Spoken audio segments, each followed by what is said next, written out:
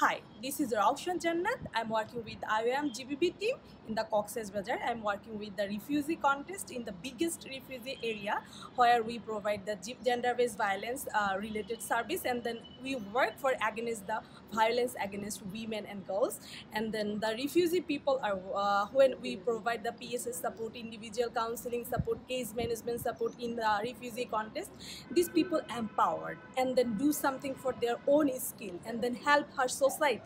to provide the her family support and then go on improve her society improve her uh, community also. These type of voice and then they when they empowered and this empowerment help the to raise her voice to talk with the people and this these skill help to uh, against the violence and by this way we contribute